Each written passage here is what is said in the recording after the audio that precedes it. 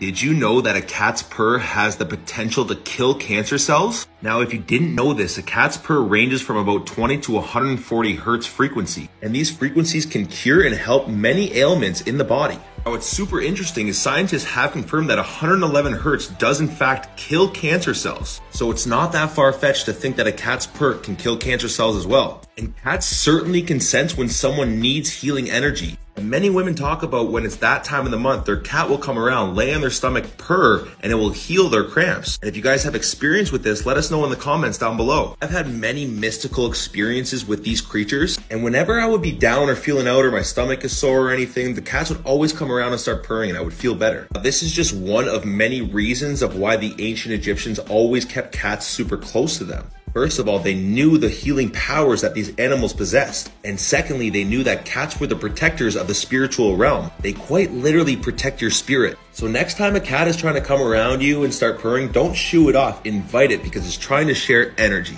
Peace and love.